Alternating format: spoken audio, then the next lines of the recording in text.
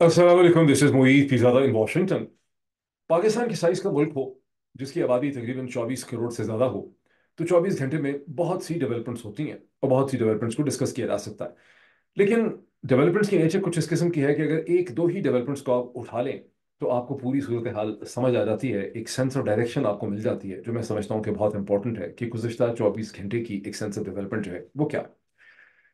गुज़िश्ता चौबीस घंटे की दो डेवलपमेंट जो है, वो बहुत ही इंटरेस्टिंग है। बहुत दिलचस्प डेवलपमेंट वो है जहाँ पाकिस्तान के आर्मी चीफ जनाब इज़्ज़त माब जनरल आसिम मुनीर साहब जो है, वो जिना कन्वेंशन इस्लामाबाद में बताया जाता है कि ढाई हज़ार पाकिस्तानी तलबा से, जिनको पाकिस्तान भर से इकट्ठा किया गया था, जो शो करता है कि आई एस पी आर की और आई एस आई की प्रिंसिपली इस केस में आई एस पी आर जो इंटर सर्विस पब्लिक रिलेशन है, उसकी जो ऑर्गेनाइजेशनल कैपेसिटी है, उसने जो मेहनत की है गुजशत पंद्रह बरस में, जब से जनरल आसम बाजवा जो है वो पी आर थे, उन्होंने कितना बड़ा एक डेटा बेस इकट्ठा किया हुआ है। कितने स्टूडेंट्स कितने कॉलेजेस कितने यूनिवर्सिटीज़ के बेचारे मासूम, नादान बच्चे जो हैं उनके जहनों के ऊपर आई एस पी आर को कंट्रोल है और ये बजाते खुद पाकिस्तान के मुस्तबिल के लिए कितनी एक ख़तरनाक सूरत हाल है।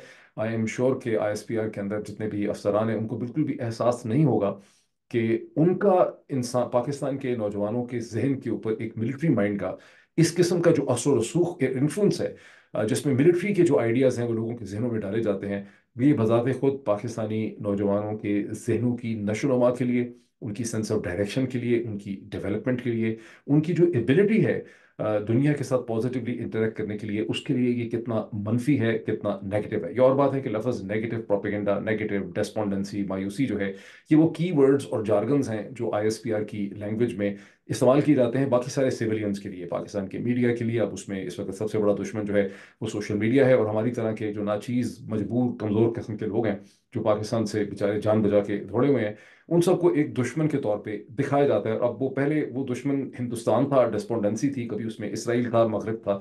अब पाकिस्तान की सत्तर फ़ीसद आबादी जो है, वो इन दुश्मनों में शामिल हो चुकी हुई है। बहरहाल ये जो इवेंट हुआ, ये बड़ा इंपॉर्टेंट था। मैं इसकी मजीद तफसीत आपके साथ शेयर करता हूँ। और जहन में रखिए कि ये 24 घंटे में, अब पिछले 48 घंटे में ये दूसरा इवेंट है। पहले जनरल आसिम मुनीर साहब के लिeutenant पाकिस्तान के रिस्पेक्टेड जनाब D G I S I general Nadeem Anjum जो हैं उन्होंने लाहौर के गैरिजन ऑडिटोरियम के अंदर वहाँ पर कोई तक बताया जाता है कि एक दर्जन के करीब जो यूनिवर्सिटीज़ और कॉलेजेस हैं, जिसमें लम्स भी है university of engineering and technology भी है, उसमें और भी बहुत से इंस्टीट्यूट हैं, उनके तकरीबन साढ़े तीन सौ तलबा के साथ उन्होंने इंटरेक्ट किया। और अब कहा जा रहा है कि जो कि आर्मी चीफ हैं, वो साढ़े तीन सौ हैं तो आर्मी चीफ को आपने ज़ाहिर है कि आठ गुना ज़्यादा बड़ा कर दिया है। तो अब उनके ढाई हज़ार स्टूडेंट्स के साथ उनका एक इंटरेक्शन जो है, वो करवा दिया गया जो कि पाकिस्तान की रियासत के लिए कोई बहुत ज़्यादा मुश्किल काम नहीं है। सवाल यह है कि ये क्यों किया जा रहा है और इस स्टेज के ऊपर क्यों किया जा रहा है? तो पहले डी जी आई एस आई के साथ एक इंटरेक्शन लाहौर में हुआ और within twenty four hours army chief जो है, उनके साथ एक इंटरेक्शन इस्लामाबाद में करवा दिया गया। दूसरी जो इंपॉर्टेंट डेवलपमेंट है वो है जहाँ सिंध हाई कोर्ट ने हुकूमत पाकिस्तान को मिनिस्ट्री ऑफ़ इंटीरियर को, पाकिस्तान की मिनिस्ट्री ऑफ़ इंफॉर्मेशन को और पाकिस्तान टेली कम्युनिकेशन अथॉरिटी को ये हुक्म दिया है कि आप इंटरनेट ये इंश्योर करें, ये एश्योर करें और इंश्योर करें कि 8 फरवरी 2024 के इलेक्शन तक पाकिस्तान में इंटरनेट की कोई आउटेज ना हो, जिस किस्म की आउटेजेस देखी गई 17 दिसंबर 2023 को फिर देखी गई 7 जनवरी 2024 को फिर देखी गई 20 जनवरी 2024 को। इसमें जो पुरसरार चीज़ है, जो मिस्ट्री है कि हर दफ़ा ये आउटेज उन उन घंटों में हुई, दिन के हिस्से में, जब पाकिस्तान तहरीक इंसाफ, इमरान खान की पार्टी का एक वर्चुअल जलसा था, ये टेलीथॉन था। यही सूरत हाल सत्रह दिसंबर को थी, यही सूरत हाल सात जनवरी को थी, यही सूरत हाल बीस जनवरी को थी। लेकिन मजाल है कि इस्लामी जमहूरिया पाकिस्तान के अंदर कोई ऐसा दलेर शख्स हो जो ये लिख सके कि, लिख तो लोग देते हैं कि उसी वक्त हुआ, लेकिन कोई लिख सके कि ये हुकूमत ही ने करवाया है और इसकी कोई वजह समझ नहीं आती अदरवाइज़ इसकी क्या वजह जो है, हो सकती है, वगैरह वगैरह वगैरह। तो ये दूसरी इंपॉर्टेंट डेवलपमेंट है। अब थोड़ा सा इसको देख लें कि जो जिन्हा कन्वेंशन के अंदर पाकिस्तान के आर्मी चीफ का सेक्शन है अपेरेंटली ढाई हज़ार बच्चों के साथ। इसे नेशनल यूथ कॉन्फ्रेंस का नाम दिया गया है। और इसके बारे में कहा जा रहा है कि ये बहुत ही फ्रैंक बहुत ही ओपन बड़ी कैंडिड डिस्कशन थी, जिसमें हर किस्म के सवाल पूछे गए, दुनिया के हर किस्म के इशू के हवाले से सवाल पूछे गए, पाकिस्तान के मुस्तबिल के हवाले से, अफ़गानिस्तान के हवाले से, हिंदुस्तान के हवाले से, ईरान के साथ टेंशन में, पाकिस्तान की मीशत ह्यूमन रिसोर्स पाकिस्तान के पास बहुत ज़्यादा मिनरल्स हैं एग्रीकल्चर रिसोर्स हैं ह्यूमन रिसोर्स है। लेकिन इसकी जो और वो सारे इस किस्म के सवाल जो हैं बहुत ही ओपन फ्रैंक कैंडिड किस्म की एटमोसफियर में पूछे गए और कहा गया कि ये सोशल मीडिया और मीडिया जो है, ये बहुत ज़्यादा मनफी असरा पैदा करता है, जहनों को मुतासर करता है डेस्पोंडेंसी और मायूसी जो है, वो पैदा करता है। यही बड़ा इंटरेस्टिंग है कि ज़ाहिर है कि गुजशत बीस बरस में पाकिस्तान में बहुत हमारे आर्मी ऑफिसर्स दोस्त रहे, भाई हैं हमारे सारे। उनके साथ जब भी बात हुई, मैंने देखा कि कुछ की जो हैं, वैसे भी आर्मी ऑफिसर्स को I think by the intention and design को बहुत ज़्यादा उनकी वोकेबलरी रखी नहीं जाती, ज़्यादा उनको वाइडली उन्होंने पढ़ना भी नहीं होता दुनिया के लिटरेचर को बिकॉज़ अगर पढ़ेंगे तो सोचने लग जाएँगे तो उनको खास तरह से सोचना ही होता है। लेकिन कुछ की वर्ड जो हैं, वो सोच के अंदर बड़े नुमाया तौर पर आपको नज़र आते हैं। मैंने कई दफ़ा बड़े एक्साइटेड देखा कर्नल साहिबान वारा को ब्रिगेडियर साहिबान कुछ अपनी, वो डिस्क्रिप्शन इस तरह से देते हैं अपनी मीटिंग्स की, अपने किसी चीफ के साथ, किसी सीनियर के साथ, जनरल साहब के साथ मेजर जनरल के साथ, या ब्रिगेडियर के साथ, कि चीफ के साथ, या कमांडर के साथ, बड़ी सर बड़ी ओपन बड़ी फ्रैंक और बड़ी कैंडिड किस्म की डिस्कशन हुई। बड़ी ओपन बड़ी फ्रैंक बड़ी कैंडिड डिस्कशन हुई और उसमें हर किस्म के सवाल पूछे गए and chief was very forthcoming और उन्होंने खुल के चीज़ों के ऊपर बात की। इसके अलावा जो उनकी वो कैबरी में अल्फाज पाए जाते हैं, वो इंडिया है, वो इसराइल है, वो नेगेटिव प्रोपेगेंडा है, वो डिस्पोंडेंसी है और वो कुछ इसी किस्म की चीज़ें। बस यही बाय एंड लार्ज अगर आप ज़्यादा डिस्कशन का कोई कंप्यूटर के ज़रिए एनालिसिस कर लें तो यही वर्ड्स उसके अंदर आपको बार बार मिलते हैं। बाकी तो सिर्फ़ दी दा वगैरह के वर्ड्स ही जो हैं, वो रह जाते हैं। अब इसकी डिटेल्स जो हैं, ये जो अभी इंटरेक्शन किया है ये जो बड़ी एग्रेसिव कैंपेन लॉन्च कर दी गई है पीआर कैंपेन आर्मी चीफ की तरफ़ से पहले डी आई तरह से। इसकी जो डिटेल्स अभी छपी हैं आर्मी चीफ के इंटरेक्शन की वो ए आर वाई में भी छपी है, वो बाकी तमाम वेबसाइट्स पे भी है, वो डॉन के ऊपर भी एक स्टोरी छपी है ट्रिब्यून में भी स्टोरी छपी है, मैंने पाकिस्तान ऑब्जर्वर में भी एक स्टोरी देखी, मैंने सारी स्टोरी देखी। ये सारी स्टोरी हु एक ही किस्म की हैं। उसमें बाय एंड लार्ज लगता है कि किसी एक ही सोर्स से ये स्टोरीज आई और इन तमाम स्टोरीज में बेसिक तौर पर सारा का सारा फोकस है वो ये है कि पाकिस्तान के खिलाफ और इदारों के खिलाफ एक नेगेटिव मनफी प्रोपेगेंडा हो रहा है। सोशल मीडिया जो है उसमें हकाइक को मसक किया जा रहा है गलत हकाइक हैं और नौजवानों की बहुत ज़रूरत है कि वो पहले से खुद से रिसर्च करें और देखें कि ये फैक्ट्स जो हैं वो ठीक हैं कि नहीं। हकीकत यह है कि सोशल मीडिया में बहुत ही कम ऐसे फैक्ट्स आ रहे हैं, वहाँ पे ओपिनियंस आ रही हैं एनालिसिस आ रहा है लोगों का। वो एनालिसिस अच्छा है, वो बुरा है, वो पॉजिटिव है नेगेटिव है, लेकिन बाय लार्ज लोग ओपिनियंस दे रहे हैं एनालिसिस दे रहे हैं। फैक्ट्स तो मतलब मतलब दे ही नहीं रहे, बहुत ही कम है फैक्ट्स हैं। फैक्ट्स को तो बड़ी आसानी से टारगेट कर सकते हैं पॉइंट आउट कर सकते हैं कि फैक्ट गलत हैं। मतलब फॉर इंस्टेंस अगर आप सोशल मीडिया ये कह रहा है कि इंटरनेट जो है, वो सत्रह दिसंबर को, सात जनवरी को बीस जनवरी को डाउन हो गया। ये एक फैक्ट है। आप कहते हैं कि ये फैक्ट ठीक नहीं है, डाउन नहीं हुआ था तो आप उसको एक्सप्लेन कर दें। फैक्ट ये है कि लोग ये समझ रहे हैं, लोगों की ओपिनियन ये है, लोग ये समझ रहे हैं कि ये पाकिस्तान की जो पाकिस्तान टेली कम्युनिकेशन अथॉरिटी है, वो ये सारा कुछ कर रही है। आप एक्सप्लेन कर दें कि पीटीए नहीं कर रही, जो कि मिनिस्ट्री ऑफ़ इन्फॉर्मेशन ने किया और ये कि डिस्पोंडेंसी में जाई जा रही है। पाकिस्तान में बहुत ज़बरदस्त किस्म की अपॉर्चुनिटीज़ पाई जाती हैं यूथ के लिए। जिसमें वो मिनरल्स में भी हैं, वो एग्रीकल्चर के अंदर भी हैं ह्यूमन रिसोर्स पाकिस्तान का बड़ा ज़बरदस्त है, और फैक्ट्स वगैरह चेक कर लें। ये सारी कहानी। अब इसमें ये ज़ाहिर डिटेल्स तो छपी हैं, लेकिन मैं एक बार फिर जो है अपनी कुलीग जो है फॉर्मर कुलीग मेरी, जनाब गरीदा फारूकी साहबा बाकी सब में तो एक ही किस्म की स्टोरी छापी है, लेकिन गरीदा फारूकी साहबा ने हम पे बहुत बड़ी मेहरबानी ये की मोहतरमा गरीदा फारूकी ने, कि उन्होंने कहा कि मैं वहाँ पे मौजूद थी, और मैं वहाँ का आँखों देखा हाल जो है वो बता सकती हूँ। तो जिना कन्वेंशन इस्लामाबाद में आज मैं उनका ट्वीट पढ़ रहा हूँ, गरीदा फारूकी साहिबा का। जना कन्वेंशन इस्लामाबाद में आज यूथ कन्वेंशन में army chief general Syed Asim Munir का मुल्क भर की यूनिवर्सिटियों से 2500 तालब इलमों के साथ इंटरक्टिव सेक्शन अढ़ाई घंटे से तवील इस सेशन में नौजवान तलबा ने खुलकर आर्मी चीफ से सवाल किए, जिनके जवाब भी भरपूर दिए गए। मैं जनरल कन्वेंशन के इस अजलास में थी इसलिए उसकी डिटेल्स देती हूँ। अब आगे उनकी डिटेल्स। आर्मी चीफ के साथ सेशन की अहम तरीन बात नौजवानों का बिला झिझक सवाल करना। ये नहीं बताने की कोशिश की जा रही है कि आर्मी चीफ जो है, उनके नौजवानों के दौरान बहुत ट्रस्ट पाया जाता है। नौजवान डरे हुए नहीं थे, घबराहट नहीं थी, ज़बरदस्ती उनको नहीं लाया गया था। सवाल उनको फ़ीड नहीं किया गया था एस पी आर से। बिल्कुल जो दिल में चाह रहे थे, वो सवाल पूछ सकते थे। और आर्मी चीफ का ओपन फ्रैंक एंड कैंडिड जवाब आता है। मैंने आपको जैसे बताया कि ये की वर्ड्स हैं जो कि आर्मी गैरिजन में यूज़ किए जाते हैं। Open frank and candid discussion army chief ने अपने एड्रेस टू द यूथ में मुसलसल कुरानी आयात के हवाले देकर नौजवानों से हर मौजूद पर गुफ्तु ये एक नई चीज़ है। पाकिस्तान में बहुत ही कम ऐसे आर्मी चीफ गुजरे हैं। इस आर्मी का बड़ा मोटो रहा है, वाइन, विस्की एंड वोमन। तो इसमें बड़े कम ही ऐसे आमी चीफ गुजरे हैं जो कुरानी आयात का ज़िक्र करते। कम अज़ कम जनरल बाजवा ऐसा नहीं कर रहे थे जनरल मुशरफ ऐसा नहीं कर रहे थे जनरल रहीद शरीफ ऐसा नहीं कर रहे थे जनरल कयानी ऐसा नहीं कर रहे थे। ये तो आखिरी दफ़ा कोई आर्मी चीफ ऐसे थे जहाँ की करामत ऐसा नहीं सोचते थे वो ऐसा नहीं थे उससे पहले वही काकड़ ऐसे नहीं थे उससे पहले मियाँ उसमें असलम जो थे वो ऐसे नहीं थे। आ, अगर कोई थे इस तरह तो वो जनरल ज़िया ही थे जो मुसलसल कुरानी आयात के बहरहाल कुरानी आयात के हवाले देकर नौजवानों से हर मौजू पर गुफ्तु की। कुछ लोग ये समझते हैं कि जनरल आसिम मुनीर के अंदर जनरल ज़िया की रूह आ चुकी है। आर्मी चीफ के खिताब और सिविल और सवाल जवाब के दौरान नौजवान मुसलसल पुरजोश रहे। ये बहुत ज़रूरी है। ये एम्फोसाइज करना बहुत ज़रूरी है कि नौजवान जो थे, वो बड़े पुरजोश रहे, बड़े एक्साइटेड थे और मुकम्मल सेशन पाकिस्तान जिंदाबाद और पाकिस्तान फौज जिंदाबाद के नारों से मामूर रहा। नौजवानों ने मुल्क की सियासत सियासत मसाइल सियासत, रोज़गार की अदम फरहमी बैड गवर्नेंस सियासत में इस्टेबलिशमेंट के मुखालफ सोशल बयानी इस्टेबलिशमेंट के मुखालफ सोशल मुखालफ सोशल मीडिया फ़लस्तीन, उन्होंने टाइपो की भी है। फ़लस्तीन, गाज़ा सूरत हाल कश्मीर, ईरान तमाम मामला पर सवाल किए, उनके भरपूर जवाब आते हैं। कोई पूछे कि पाकिस्तान का क्या लेना देना फ़लस्तीन और गाज़ा से, जब आपकी कोई कैपेसिटी ही किसी किस्म की नहीं है।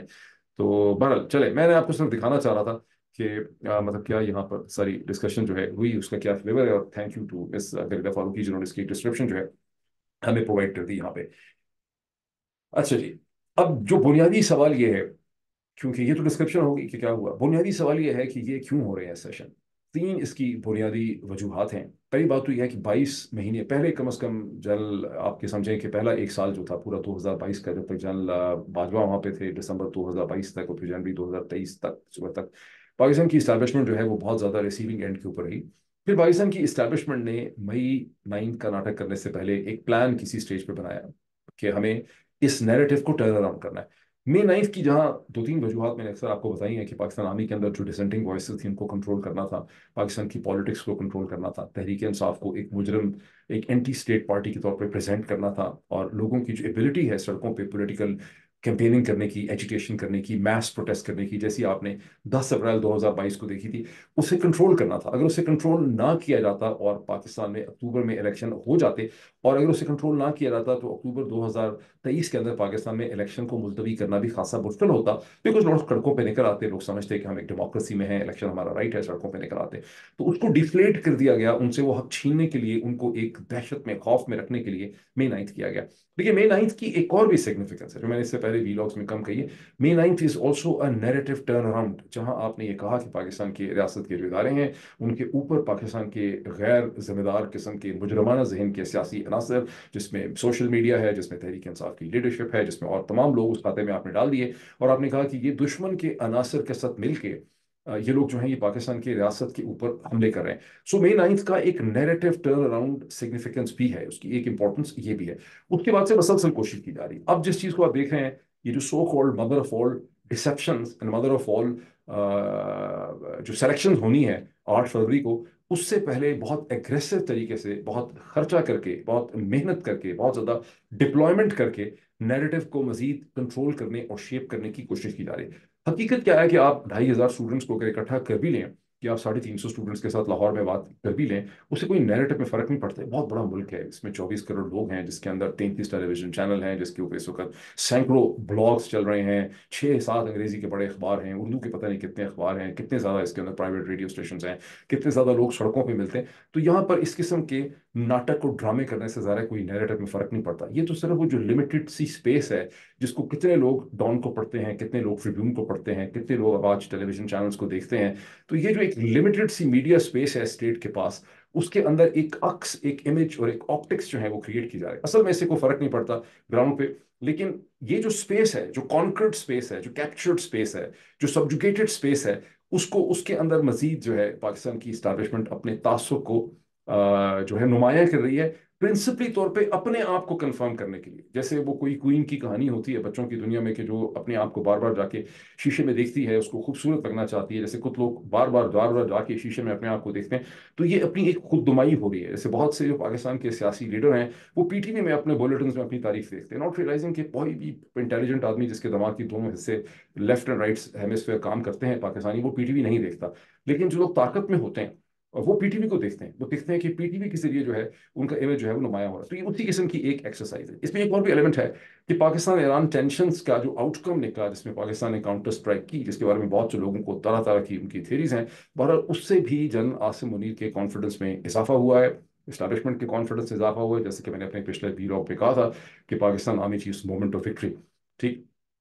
और फिर ये एक डेस्परेट अटैम्प्ट है। ये एक डेस्परेट अटैम्प्ट भी है एक ऐसी इस्टेब्लिशमेंट की तरफ़ से, जिसको ये एहसास है अंदर से कि उसका और पब्लिक के दरम्यान में बड़ा डिस्कनेक्ट है। यूथ पे बड़ा एम्फोसिस है। बार बार ये चीज़ दोहराई जाती है कि पाकिस्तान में आज पैंसठ फ़ीसद लोग, नौजवानों की उम्र जो है पैंतीस बरस से कम है। तो यहाँ पर एक एफर्ट की जा रही है दिखाने के लिए कि पाकिस्तान की आर्मी इस्टेब्लिशमेंट आर्मी चीफ खास करके उनकी पर्सनैलिटी को नुमाया करने की भी यहाँ पे आई एस की तरफ़ से बड़ी कोशिश है। उनको एक बड़े ज़बरदस्त किस्म के लीडर के तौर पर दिखाया जा रहा है, जहाँ वो नौजवानों को बेगलगीर हो रहे हैं, गले लगा रहे हैं। उनसे बड़ी हमदर्दी कर रहे हैं। और ज़ाहिर है कि जिन नौजवानों को सेलेक्ट करके पूरे पाकिस्तान से इन किस्म के सेशंस में लाया जाता है, एक ऐसे मुल्क में जहाँ की जर्नलिस्ट को कत्ल किया जा सकता है, उनको उठा के नंगा किया जा सकता है, उनको थप्पड़ मारे जा सकते हैं, जिनकी लाखों की तनख्वाहें हैं, जो अच्छे वाले घरों से हैं, जहाँ अयाज अमीर को सड़कों पर जदूकूब किया जा सकता है, जहाँ गुलाम हुसैन को होटल से उठाया जा सकता है, जहाँ फॉर्मर प्राइम मिनिस्टर पाकिस्तान पर कातलाना हमला हो सकता है, जिसकी इन्वेस्टिगेशन ना हो, जहाँ अरशद शरीफ के कत्ल का कुछ पता ना चल सके, जहाँ पे की जर्नलिस्ट जो लाखों करोड़ों की, साल में जिनकी करोड़ों रुपए की आमदनी है, उनको मुल्क से धक्का देकर निकाला जा सकता है, उनको पाकिस्तान से बाहर भी थ्रेटन किया जा सकता है। वहाँ इन बेचारे ढाई हज़ार हों या साढ़े तीन सौ बेचारे बच्चे, नौजवान हों, इनकी क्या औकात और इनकी क्या हकीकत और इनकी क्या कैपेसिटी और इनकी क्या ज़रूरत कि वो इस आर्मी चीफ से जो मतलब अनान है, जो बादशाह है, जो एक फेरो की तरह है, जो एक मतलब फेरो है इजिप्ट का, फेरोन है, उसके सामने कोई सवाल पूछ सकें। उस पर ये तो सिर्फ़ बेजती करने वाली बात है कि कहें वहाँ एक फ्रैंक ओपन एंड ऑनेस्ट और कैंडिडेट किस्म की डिस्कशन जो है वहाँ पे हुई। तो this is a desperate attempt एक ऐसी नौजवान नस्ल को जिसकी स्टंटेड ग्रोथ है, जिसकी कैलोरिक वैल्यू नहीं है, जिसको खाने को कुछ मिल नहीं रहा, जिसकी जो पूरी अगर उसका मेन्यू चार्ट बनाए फ़ूड का तो उसमें भी उसके कैलोरिक वैल्यू पूरी नहीं होती, जिसकी वजह से उसकी ब्रेन डेवलपमेंट नहीं हो पा रही। उस नौजवान नस्ल को बेवकूफ़ बनाने के लिए, उसके आई को और कम करने के लिए इस किस्म के स्टंट जो हैं, वो किए जाते हैं। हकीकत क्या है इस मुल्क की? अच्छा एक और भी पॉइंट इसमें बड़ा इंपॉर्टेंट है, जो मैंने आपको पिछला एक क्लिप पॉइंट आउट किया था पिछले वीलॉग में। कि जब सुहेल वड़ायत साहब को बुलाया पाकिस्तान के जो बहुत ही प्रोमिनेंट ऑथर और कॉलमनिस्ट हैं कमेंटेटर हैं, उनको कामरान खान साहब ने अपने प्रोग्राम में बुलाया। वहाँ नवाज़ शरीफ साहब के हवाले से भी एक डिस्कशन हुई, जहाँ पर सुहेल वड़ायत साहब ने बहुत तफसील से एक्सप्लेन किया कि नवाज़ शरीफ साहब आए तो एक डेढ़ महीना पहले बहुत उम्मीद से थे, बहुत उनकी एक पॉजिटिव फीलिंग थी अपने बारे में कि उनको बहुत बड़ा इंपॉर्टेंट रोल मिलने वाला है। लेकिन अब नवाज़ शरीफ साहब की सिचुएशन खासी कॉम्प्रोमाइज़ किस्म की लगती है। और ऐसा लग रहा है कि उनको जो भी रोल मिलेगा खा वो प्राइम मिनिस्टर बन भी जाते हैं तो बड़े ही कॉम्प्रोमाइज़ और बड़ी लिमिटेड किस्म का उनको रोल मिलेगा। ये बड़ी देखने वाली डिस्कशन थी अच्छी डिस्कशन थी। अब इसमें बेसिक बात यह है कि नवाज़ शरीफ साहब की जो पूरी परफॉर्मेंस है वो ज़ाहिर है उसको मिलिट्री स्टैब्लिशमेंट को कोई बहुत ज़्यादा नवाज़ शरीफ साहब को कन्विंस करने की ज़रूरत नहीं है उनको भी नज़र आ रहा है और नवाज़ शरीफ साहब को खुद भी नज़र आ रहा है, जो उन्होंने हाल अपना देखा, वो पहले आए मीनार पाकिस्तान का जलसा देखा, फिर बहुत अरसे के बाद उन्होंने अपनी कैंपेन का स्टार्ट किया ओकाड़ा से, फिर उसके बाद वो थे ही नहीं वहाँ पे, फिर उसके बाद हाफिजाबाद खानेवाल और उसके बाद तो उनको अच्छी तरह से एहसास है कि इस वक्त लोग उनके साथ नहीं है। ऊपर से जितने सर्वेज आ रहे हैं विलेटर्स देख लें डॉन का सर्वे देख लें, उस पर कौन कहेगा कि सही नहीं था, जहाँ नवाज़ शरीफ साहब की टोटल पॉपुलरिटी इलेक्शन के हवाले से सोलह है। और ये जहन में रखिए कि जो first past the poll system होता है, जिस बरतानवी सिस्टम है, इसको डिज़ाइन इसलिए किया गया है कि जो पार्टी थोड़ी सी भी सबकत लेती है, उसको सीटें बहुत ज़्यादा मिल जाती हैं। फॉर इंस्टेंस हिंदुस्तान के अंदर नरेंद्र मोदी साहब के प्राइम मिनिस्टर नरेंद्र मोदी की जो जमात है बीजेपी जो इंतहाई पॉपुलर है उसने जो पिछला इलेक्शन हुआ था 2019 का, उसमें मेरा ख्याल सैंतीस अठतीस फ़ीसद उसकी टोटल उसके पास पॉपुलर वोट था। लेकिन सीटें उसके पास ऑलमोस्ट टू थर्ड हैं। टू थर्ड ही हैं शायद। टू थर्ड है। तो जहाँ एक पार्टी के पास इलेक्शन से पहले 70 परसेंट वोट अप्रूवल रेटिंग हो आप खुद अंदाज़ा लगा सकते हैं कि अगर उसको आप first past the poll system से इफेक्टिवली जेनुअन इलेक्शन में ट्रांसलेट करें तो इसका मतलब है कि उसको तो तकरीबन अस्सी पचासी नब्बे फ़ीसद सीट्स मिल जाएँगी। तो इस पूरे सर्कमस्टांसिस के अंदर ज़ाहिर है कि नवाज़ शरीफ साहब बहुत ज़्यादा डीमोरलाइज हैं, बहुत ज़्यादा डिप्रेस हैं और अब उनकी जो नेगोशिएशन करने की एबिलिटी है अपने लिए with Asim Munir military establishment वो बतदरीज उसमें बहुत ज़्यादा कमी आ गई है। ये चीज़ मुख्तलिफ़ अंदाज में, मुख्तलिफ़ अल्फाज में और मुख्तलिफ़ लहजे में एक मुख्तलिफ़ अल्फाज की चॉइस थी जनाब सुहेल राइट साहब की, जो उन्होंने अपनी डिस्कशन में समझाई। रियलिटी क्या है? जो बेचारे ये बच्चे सवाल उसके frank, open and candid discussion में नहीं उठा सकते थे। पाकिस्तान की जो पचहत्तर बरस की तारीख है, उसमें से पैंसठ बरस 1958 के बाद से पाकिस्तान मुसलसल, पाकिस्तान की मिलिट्री स्टैब्लिशमेंट ने और जनरल हजरात ने पाकिस्तान पर रूल किया है। फ्रंट के फसाड के तौर पर डमी गवर्नमेंट्स आती रही एक गवर्नमेंट को आप कह सकते हैं, जो पाँच बरस की जुल्फ़ार अली भुट्टो की गवर्नमेंट थी, कि वो एक नस्बता ज़्यादा एम्पावर्ड इंडिपेंडेंट गवर्नमेंट थी बिकॉज़ वो उन्नीस सौ इकहत्तर के सरेंडर और डिबैकल के बाद आई थी। अदरवाइज़ पाकिस्तान पे मसलसल पाकिस्तान की मिलिट्री इस्टेब्लिशमेंट ने ही रूल किया पॉइंट वन ये रियलिटी है। और ये वो रियलिटी है कि इन पैंसठ बरसों में जहाँ मिलिट्री इस्टेब्लिशमेंट ने और जनरल साहिबान ने पाकिस्तान पर रूल किया है कि कंट्री दो लफ्त हुआ। पाकिस्तान को एक शर्मनाक सरेंडर करना पड़ा। उसका कद आधा रह गया, उसके ऊपर जीनोसाइड, कत्लेआम का इल्ज़ाम लगा। ये वही सिक्सटी फाइव ईयर्स हैं, पैंसठ बरस हैं, जिसमें पाकिस्तान ने हिंदुस्तान के साथ हर कॉन्फ्लिक्ट जो है, वो बाय एंड लार्ज हारा। फोर्टी सेवन फोर्टी एट हमारे फेवर में एंड नहीं हुआ। सिक्सटी फाइव हमारे फेवर में एंड नहीं हुआ। Seventy one nothing set the better Siachen कुछ कहने की ज़रूरत नहीं है। कारगिल, कुछ कहने की ज़रूरत नहीं है। तो एक, वाहिद, एक मेरा ख्याल है, वाहिद इवेंट है, जो फरवरी में 2019 में हुआ, जहाँ हमने हिंदुस्तान पे काउंटर स्ट्राइक की और उनका एक पायलट हमारे हाथ में आ गया था। इसके अलावा कोई ब्राइट स्पॉट नहीं है इस पूरे मिलिट्री इंटरेक्शन में। उसकी भी मैं बड़ी दफ़ा एक्सप्लेनेशन दे चुका हूँ। इसी सारे टाइम पीरियड के अंदर जो डिफेंस का एक्सॉर्बिटेंट बढ़ता हुआ एक्सपेंडिचर था उसने पाकिस्तान के अंदर ह्यूमन डेवलपमेंट नहीं होने दी। और एक तो ह्यूमन डेवलपमेंट फ़िज़िकल सेंस में नहीं हुई। दूसरी ये है कि चूँकि आईएसपीआर की तरह के इदारों का और मिलिट्री इंस्टीट्यूशंस का पाकिस्तान के नौजवान नस्ल पे, हम सब के जहनों पे बहुत ज़्यादा असर रहा है। इसलिए हमारा जो लेंस है दुनिया को देखने का, वो बहुत छोटा, बहुत लिमिटेड रहा है, जिसकी वजह से पाकिस्तान की जो नस्ल गुजरी हैं, सारी जनरेशन गुजरी हैं, उनकी जो एबिलिटी है सोचने, समझने की और दुनिया से इंटरेक्ट करने की, वो बहुत ज़्यादा लिमिटेड रही है। इसी टाइम पीरियड में पाकिस्तान में इंतहा दर्जे का सेक्टेरियन रीजनल कॉन्फ्लिक्ट हुआ है। जिसपे पाकिस्तान में शिया सुन्नी फसाद हो गया, पाकिस्तान में अफ़गानिस्तान की जंग के नतीजे में बहुत सा हुआ, ईरान और सऊदी अरब का कॉन्फ्लिक्ट जो है पाकिस्तान के अंदर वो जंग लड़ी गई। इस वक्त सिचुएशन ये है कि हिंदुस्तान और अफ़गानिस्तान के साथ तो टेंशन हिंदुस्तान के साथ तो टेंशन थी, वो तो थी, अब अफगान, वो भी कोई इसमें बेहतरी नहीं हो सकी। लेकिन अफ़गानिस्तान के साथ भी हमारे एक बिल्कुल दुश्मन की तरह की हाल सिचुएशन डेवलप कर चुकी है और अब माशाल्लाह हमने उस लिस्ट के अंदर ईरान को भी ऐड कर दिया। इसमें कोई शक नहीं है कि ईरान ने उसमें एक कॉम्प्रोमाइज़ दिखाया है और ईरान के और पाकिस्तान के एम्बेसडर्स जो हैं वो वापस आ रहे हैं अपने मुल्कों में छब्बीस तारीख को और फिर ईरान के फॉरेन मिनिस्टर जो हैं अमीर हुसैन अब्दुल्हिया उनतीस को ट्वेंटी नाइन्थ को पाकिस्तान पहुँचेंगे। But that does not take away the fact कि ईरान ने पाकिस्तान के अंदर स्ट्राइक की इन पाकिस्तान ने काउंटर स्ट्राइक की और पाकिस्तान में देख रहा हूँ अच्छे, भले पढ़े लिखे लोग जो हैं वो एक बुनियादी क्वेश्चन को हैंडल नहीं कर पा रहे रेज नहीं कर पा रहे कि क्या वो सेट्स ऑफ़ सर्कमस्टांसिस हुए जिसमें ईरान ने पाकिस्तान के ऊपर, जो कि पचहत्तर बरस में नहीं हुआ था तो उन्होंने पाकिस्तान के अंदर एक मिसल स्ट्राइक की और उसका उन्होंने ऐलान भी किया। वो क्या फैक्ट्स हैं जिसके ऊपर वो अपना डिसप्लेशर जो है वो कन्वे करना चाह रहे थे। लोग उसकी मुख्तलिफ़ वो जी हिंदुस्तान का वहाँ पे था तो हिंदुस्तान ने इनकरेज कर दिया फॉरन मिनिस्टर वहाँ था but that doesn't really explain the whole situation कि आपकी किस तरह की सिचुएशन डेवलप कर चुकी है ईरान के साथ। जो असल क्वेश्चन पूछने वाले थे ज़ाहिर है कि ये बच्चे जिनको बुलाया गया था खौफसदा बच्चे जो हैं, ये आमी चीज़ से नहीं पूछ सकते थे। एक ही क्वेश्चन अगर को पूछ रहा था आमी चीज़ से कि, सर, ये बता दें कि ये इंटरनेट आउटेज जो हो रही है, हमारे मुस्तबिल का और इस मुल्क की रियासत का और हमारे कैरियर का बड़ा ताल्लुक है इंटरनेट के साथ, हम इंटरनेट पर डिपेंडेंट हैं।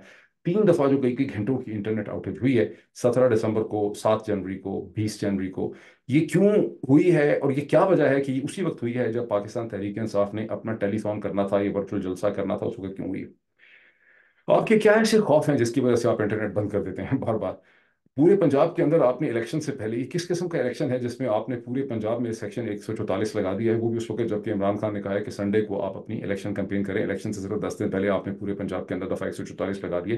क्यों आप इतने डरे हुए हैं? क्यों आप इतने खौफसदा हैं? कौन पूछ सकता है ऐसे सवाल? पंजाब और खैबर पख्तूनखा में दो हज़ार तेईस में जो इंतबात कानूनी तौर पर आइनी तौर पर होने चाहिए थे, वो क्यों नहीं हुए? पाकिस्तान में जनरल इलेक्शन अक्टूबर दो हज़ार तेईस में होने थे, वो क्यों नहीं हो सके? ये क्या है? क्या आप समझते हैं कि सिविलियंस का ट्रायल जो है, वो सिविल मिलिट्री कोर्ट्स में होना चाहिए? सुप्रीम कोर्ट के फैसला जो आया है, इसके खिलाफ उसको आपने इंप्लीमेंट क्यों नहीं किया? आपने पूरा महीना को रहा फ़ील्ड में, फिर भी इंप्लीमेंट नहीं किया। क्या वजह है कि पाकिस्तान के future chief justice Ejazul Ahsan साहब जो हैं, उन्हें इंतहाई पुरसरार तरीके से अचानक उनको रिज़ाइन करवा दिया गया, उनको रिज़ाइन करना पड़ गया? और ये क्या बात हुई कि मई नाइन्थ में रियासत हमले के बाद वो तमाम लोग जिन पे आपने पहले इल्ज़ाम लगाया, उनकी प्रेस कॉन्फ्रेंसेज हुई, उन्होंने पार्टी चेंज की और वो दोबारा तिरत्तर हो गए, पाक हो गए दोबारा? इसकी क्या वजह ये वो सेट्स ऑफ़ सर्कमस्टांसेस हैं जिसके दरमियान में ज़ाहिर ये सवाल किसने पूछने थे, जहाँ पर आप सुनते हैं कि सिंध हाई कोर्ट में जबरान नासिर साहब ने कमाल का काम किया है, जहाँ से उन्होंने ऑर्डर हासिल किया है पाकिस्तान की हुकूमत के लिए मिनिस्ट्री ऑफ़ इंटीरियर के लिए, पाकिस्तान टेली कम्युनिकेशन अथॉरिटी के लिए और Pakistan ministry of information broadcasting के लिए, जहाँ उनको ये पाबंद किया गया है सिंध हाई कोर्ट की तरफ़ से कि 8 फरवरी 2024 के इंतबात तक गवर्नमेंट ये इंश्योर करे, ये सारे डिपार्टमेंट्स को कि इंश्योर करे। कि इंटरनेट की कोई आउटेज जो है, वो नहीं होनी चाहिए। अब देखना यह है कि जनरल आसिम मुनीर की इस मुमलिकत और किंगडम के अंदर जिसके वो बादशाह हैं, उसमें सिंध हाई कोर्ट के इस ऑर्डर को कितना माना जाता है, जहाँ वो कह रहे हैं कि पाकिस्तान का मुस्तबिल बड़ा ज़बरदस्त है, यहाँ पे ये है, वो है, फलाफला चीज़ें। अभी इतना ही, फिर आपसे मुलाकात होती है। Thank you